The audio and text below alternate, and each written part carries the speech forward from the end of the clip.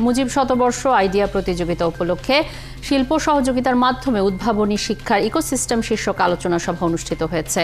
মঙ্গলবার সন্ধ্যায় বাংলাদেশ বিশ্ববিদ্যালয় মঞ্জুরি কমিশনের আয়োজনে ভার্চুয়াল প্ল্যাটফর্ম জুমের মাধ্যমে এই আলোচনা অনুষ্ঠিত হয়। আলোচনায় শিক্ষা উপমন্ত্রী মহিবুল হাসান চৌধুরী বলেন, বিশ্ববিদ্যালয় মঞ্জুরি কমিশন আয়োজিত মুজিব শতবর্ষ আইডিয়া প্রতিযোগিতা দু সত্যিকার অর্থে একটি যুগোপযোগী পদক্ষেপ এবং বাংলাদেশের শিক্ষক, ছাত্র ও সকল নাগরিকদের জন্য উদ্ভাবনী আইডিয়া শেয়ার করার মাধ্যমে পুরস্কার জিতে নেওয়ার সুযোগ তৈরি করেছে।